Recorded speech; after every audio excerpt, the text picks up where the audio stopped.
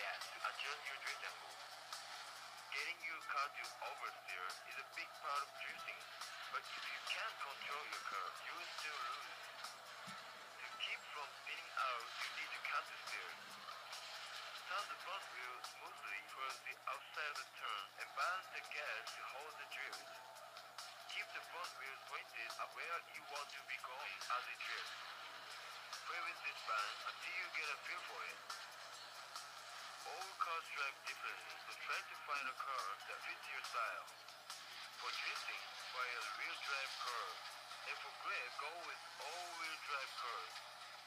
Let's do something easy first. Power over drifting. It's just using the gas to get your car sideways. To do a power over, just give it full gas and turn the wheel hard right or left. Try to spin the car in circles in one place. This is how you will practice.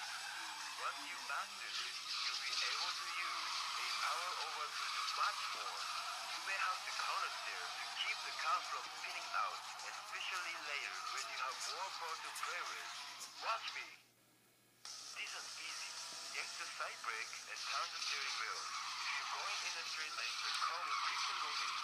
If you're already in a drift, pressing the side brake button will cause the back wheel to block up and give you some more angle. Keep in mind, the angle is also based on how long you hold the brake. Hold it too long and you might speed out. You already learned the drifting is about disrupting the balance of the car. A braking drift is just that, upsetting the balance of the car. Check it out. Coming hot and stand on the gas. Now off the gas and slam on the brake. Hold it, wait a second, and get back on the gas. If you do it right, the car will swing out. This isn't the hardest yet. Shot. This is my favorite technique to kickstart the drift.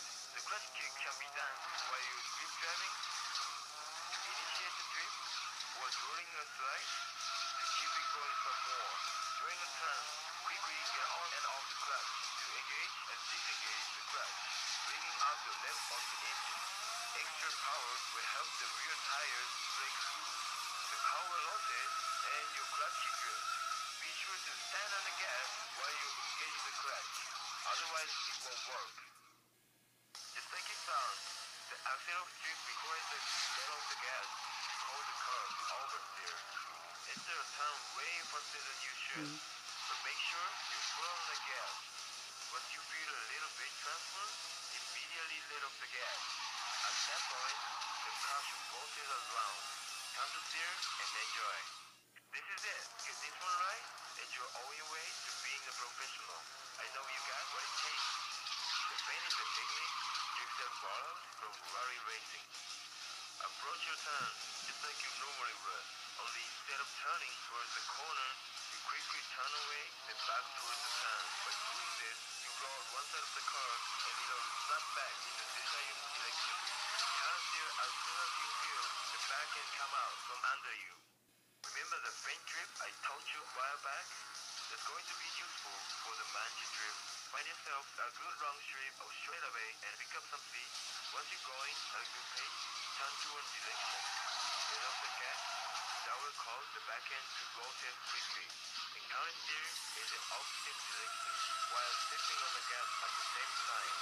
Once the car swings the other way, repeat by letting off the gas and steering in the original direction. Good, you can do this down the whole straight. Good luck!